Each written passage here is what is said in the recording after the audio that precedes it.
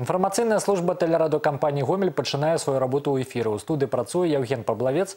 Добрыя раніцы глядзіце ў гэтым выпуску.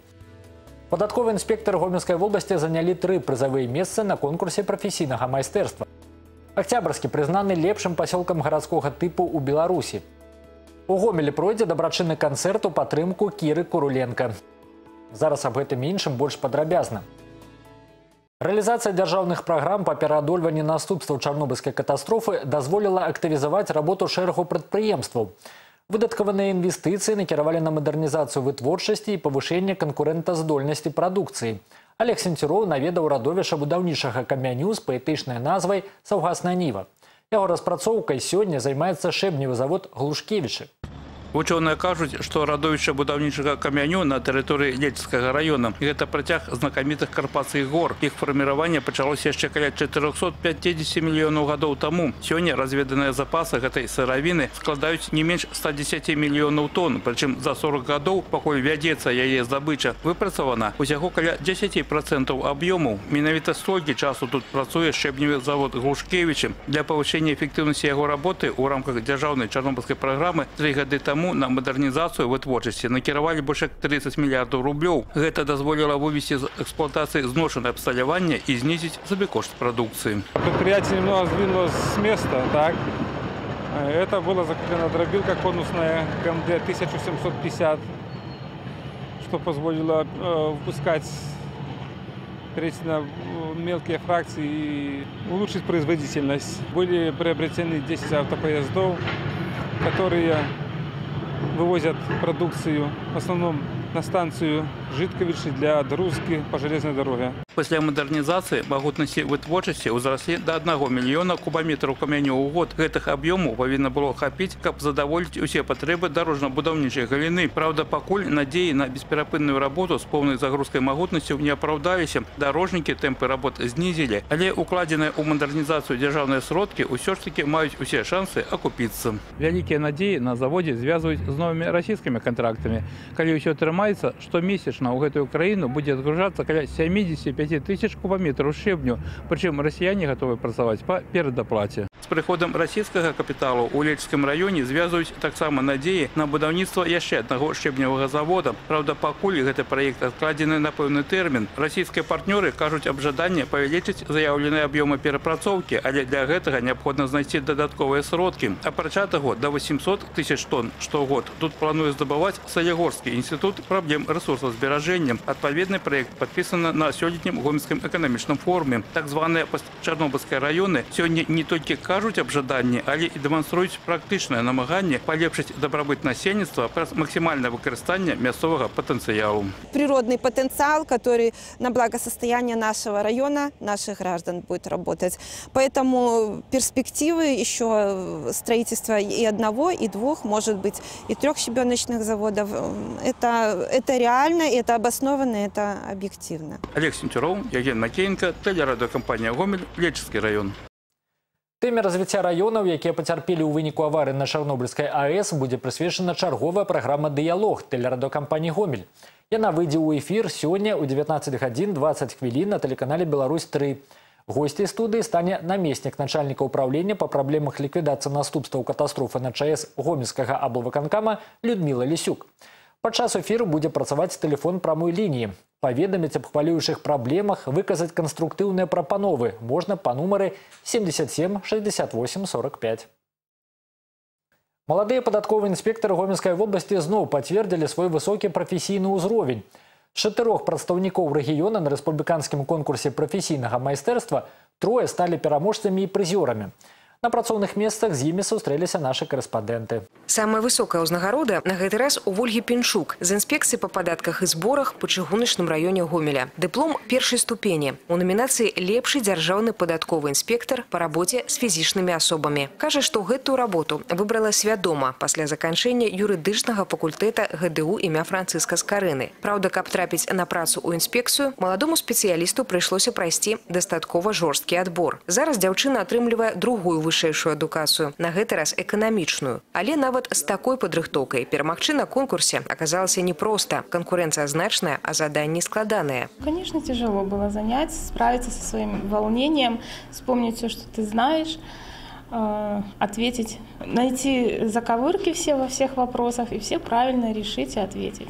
Канкурсантам прыйшлося прайсці два этапы. Апрача тэарэтычнай пісьмовай часткі яшчэ і конкурсны тур. Тут і маналог аб сабе і сваёй працы і дэманстрацыя практычных навыкаў. Юлія Буракова са жлобінскага раёна і Дар'я Барадзіна з савецкага раёна Гомеля гэтыя выпрабаванні прайшлі. Але да першага месца не хапіла зусім няшмат. Магчыма, сказалася хвалявання. Хоць званне прызёраў таксама ганаровае. Урэшце гэта яшчэ і сведчанне наяўнасці ў калектывах карпаратыўнай еднасці. Толькі ў гэтым выпадку можна стаць сапраўдным прафесіяналам профессионалом. Мы справляемся, потому что у нас коллектив тут, мы работаем все сообща, то есть у нас есть э, и консультационный отдел, э, где мы можем посоветоваться, что-то уточнить, спросить, поэтому вопросов в принципе не возникает. Сёлетнія перамогі падатковых інспектараў з гомельскай вобласці на рэспубліканскім конкурсе прафесійнага майстэрства не першыя. Прадстаўнікі рэгіёна кожны год займаюць прызавыя месцы і абавязкова прывозяць хоць адзін дыплом першай ступені. Мясцовае кіраўніцтва работнікаў, чый прафесіяналізм прызнаны на такім узроўні, імкнецца заахвочваць. Напрыканцы месяца Вольгу Пенчук, Дар'ю Бардзіну і Юлю Буракову будуць ушаноўваць падчас правядзення абласной калегіі падатковых інспекцый. Апрача таго, у іх з'явіўся рэальны шанс прафесійнага прафесійнага росту. Ва ўсялякім разе раней такія прыклады выключэннем не з'яўляліся. Андрей Ганчароў званне пераможцы на рэспубліканскіх спаборніцтвах атрымаў у 2012,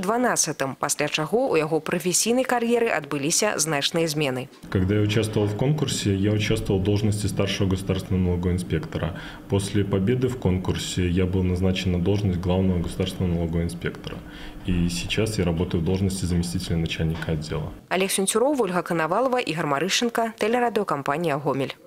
Назначены новый начальник управления Державного комитета судовых экспертиз по Гомельской области. Им стал полковник юстиции Иван Сыса. С 1993 года, после заканчэння Украинской юридичной академии, он працаваў у органах прокуратуры.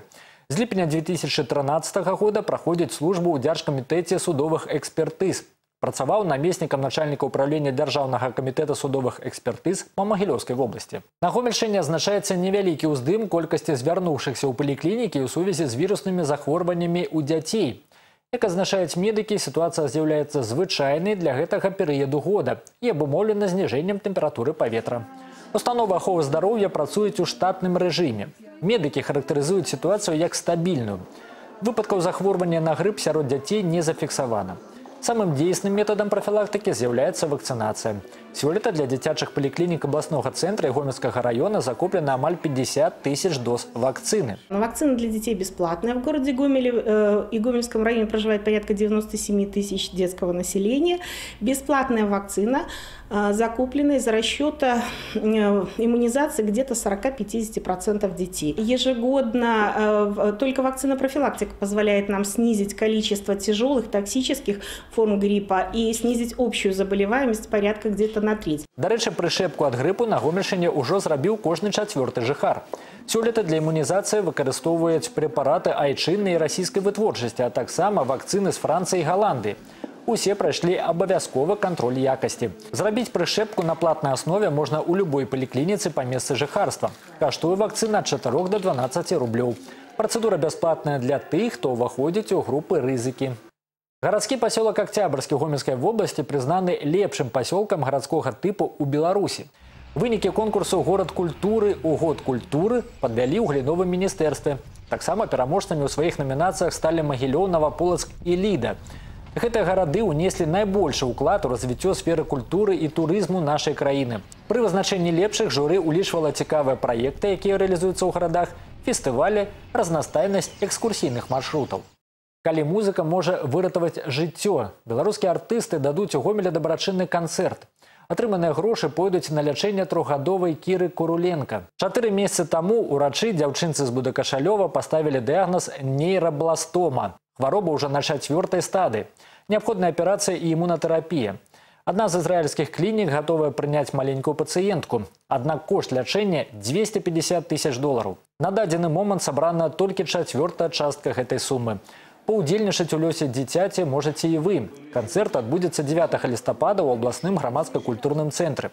Яго правядзенне стало магчымым дзякуючы актывістам волонтерского руху БРСМ «Доброе сердце». Билеты можно приобрести в кассах э, Дворца культуры Белецкий, а также в кассах ГЦК. Билет стоит 7 рублей. Примут участие э, звезды белорусской эстрады, заслуженный ансамбль «Песняры», э, группы «Цвет алоэ», «Провокация», а также заслуженные певицы. Это Наталья Тамела, Ольга Колесникова, Надежда Мисякова.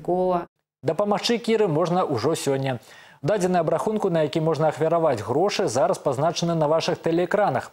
Акрамя таго, можна пералічыць сродкі, папоўнішы рахунак мабільнага тэлефона 8033 902 22 66.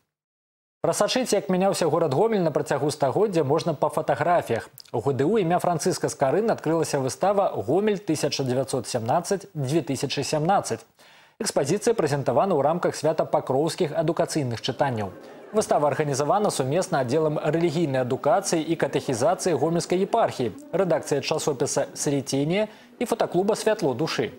Асноўную задачу стваральнікі бачаць у тым, каб з дапамогай мастацкай фатаграфіі абуджаць у людскіх душах пачуццё прыгожага, напаўняць сэрца святлом добра і духовнай прыгажосці. На фотаздымках можна прасачыць, як мянялася аблічча горада над сожам з цягам часу параўнаць як выглядалі яго тыя ці іншыя архітэктурныя аб'екты ў межах 20 40 і нават 100 гадоў юныя барцы з беларусі рассіі украіны прынялі ўдзел у 26 міжнародным турніры па самба новая гута 2016 усяго на спаборніцтвы прыехала больш як 150 спартсменаў 2003 2004 гадоў нараджэння акрамя баталі на дыванах турнір запоўніўся яшчэ і важнай падзеі для ўсяго беларускага спорту падрабязнасцю Масіма савіна Выхаванец дзюшар гомельскага района, ураджэнец новай гуты, майстар спорту міжнароднага класа па самба Яўген Сёмачкін завяршыў кар'еру. Ушаноўвалі спартсмена падчас цырымоніі адкрыцця спаборніцтваў. Упершыню Яўген выйшаў на барцоўскі дыван у 6 гадоў. Такія людзі, такія спартсмены рождаюцца нечаста і воспитывать таких э, ребят, находить их крайне сложно. Не бывает так, чтобы просто из рядовых человек э, без воли, без характера э, проявил себя на больших спортивных аренах. Поэтому характер действительно, закалка характера и команда, которой он воспитывался спортивно, именно вот ребята, Плеяда, это они все бойцы. Кар'ера Еўгена Сёмачкіна як спартсмена працягвалася амаль тры дзесяткі гадоў. Ён абараняў гонар Беларусі на самых прэстыжных стартах. Назапашаным вопытам Сёмачкін гатовы дзяліцца з маладым пакаленнем і не выключае пачатку трэнерскай кар'еры. Пакуль жа працягвае службу ў радах міністэрства па надзвычайных сітуацыях. У калекцыі спартсмена медалі розных вартасцяў, заваяваныя на першынствах і чэмпіянатах Еўропы, этапах Кубка свету. Нягледзячы на россыпу узнагарод, Еўген Сёмачкін кажа, усіх пастаўленых мэтаў дасягнуць не ўдалося. Не все смог достичь, чего чего хотел. Всегда к этому стремился, но так как получается, это спорт. Где-то мы выигрываем, где-то проигрываем. З нядаўняга часу прадпрыемства гомельшпалера ўзяло своеасаблівае шэфства над дзіцячым самба ў гомельскім раёне. Вясной гэтага года адбыўся першы міжнародны турнір у арганізацыі якога прымала прамы ўдзел гэтае прадпрыемства. Новая года 2016 таксама праводзілася на прызы гомельшпалераў. Мое мнение такое, что надо выбрать что-то одно и э, делать это идеально. Поэтому мы все-таки будем уделять внимание детскому спорту, именно развитию детского спорта, именно самого. В наших планах есть проведение, опять же, очередных соревнований. Это уже будет весной, это будет следующий год. Мы будем к ним готовиться совместно с Федерацией самбо. И постараемся его провести тоже на высоком уровне, чтобы наши дети остались довольны. Усяго на турнір прыехала больш як 150 спартсменаў. Акрамя Гомеля і Гомельскага района Беларусь прадстаўлялі Мінск і Бабруйск, Украіну, Чарнігаў, Расію, Масква, Клінцы і Навазыбкаў. Страсці на дыванах кіпелі нежартоўныя. Для многіх спартсменаў гэты старт быў дэбютным. А прайграваць у першай жа турнірнай схватцы не хочацца. Так што перамогі даставаліся з цяжкасцю, а все ўзнагароды былі заслужанымі. Максім Савін, Валерый Гапанько, тэлерадыёкампанія «Гомель». Это ўсе навіны на гэты час з развіццём падзей сачыце па нашых наступных выпусках. У студыі працаваў Яўген Паблавец. Усяго добрага і да сустрэчы ў эфіры.